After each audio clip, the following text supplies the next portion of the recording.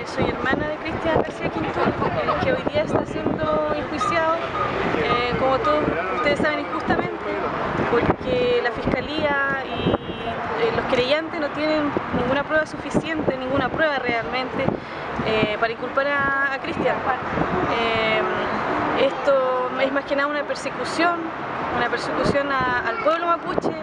a la gente que está en reivindicación y recuperación territorial.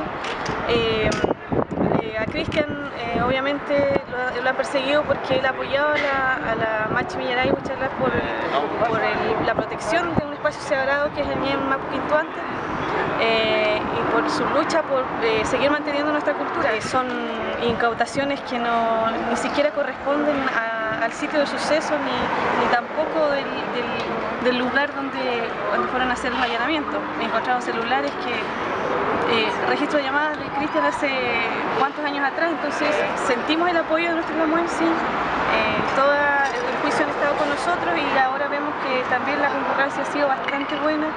muy buena. Eh, siempre hemos sentido el apoyo de, nuestro Clamuen, de los machis, de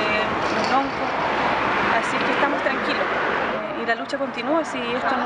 no, porque no hayan tratado de encarcelar la MUEN, esto va a terminar, la, lucha continúa, estamos en juego un espacio sagrado y, de eso estamos conscientes que no vamos a dejar que la empresa ingrese. Se decidió a través de todo lo que hoy día está pasando ya, eh, el día 15 de abril